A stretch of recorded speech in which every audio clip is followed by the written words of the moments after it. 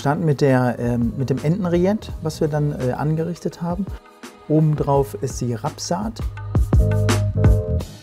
An der Seite haben wir dann die Umami-Wachtel. Hier haben wir die Zwetschgen. Hier haben wir einmal unsere Kichererbsen-Miso. Dann haben wir die Lupinenkresse. Dann haben wir die Kiona und die Apfelblüten. Dann ist die Brühe aus den Kartoffelschalen, wir nennen es Schalenstoff.